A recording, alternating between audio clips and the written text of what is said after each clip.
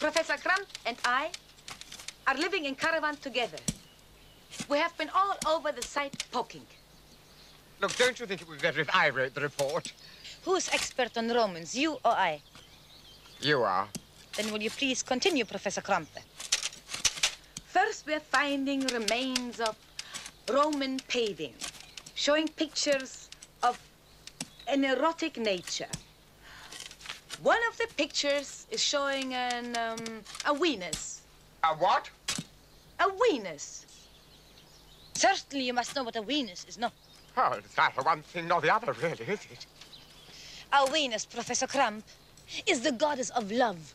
Oh, you mean Venus? Is what I am saying. Venus. We, we, Ah. the, yeah, yeah. Okay, next to her is standing your man who's holding his, uh, I don't know where to. You are seeing what man is holding in his hand, no? Yes. What are you calling it in English? Well, you have a very large choice, really. No, it's not. It's one short word, much to the point.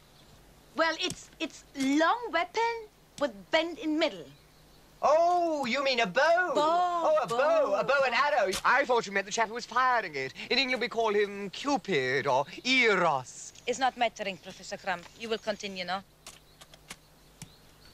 He is firing Harrow, which is hitting people in arts. In what?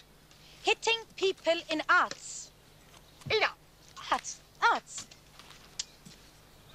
Oh, I see. There. Da.